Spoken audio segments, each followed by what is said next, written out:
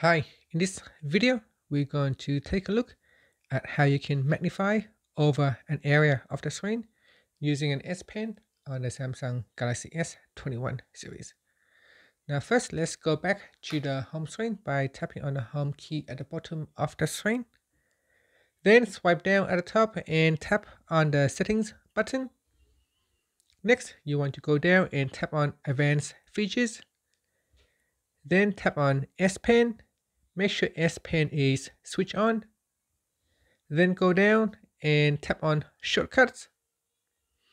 In the air command shortcuts, make sure that you have added magnify.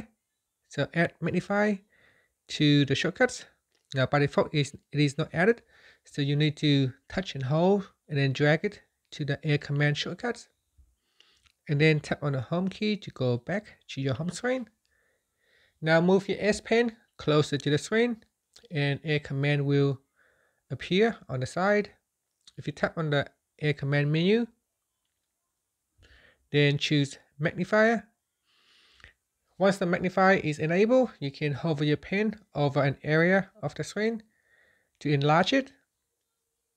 Now you can also choose the size of the magnification. So you got a default of 150% you got 200, 250, and 300.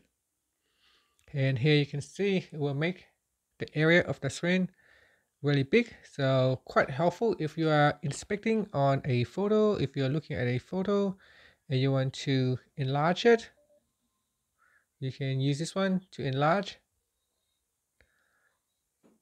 a part of the screen. And that's it. Thank you for watching this video. Please subscribe to my channel for more videos.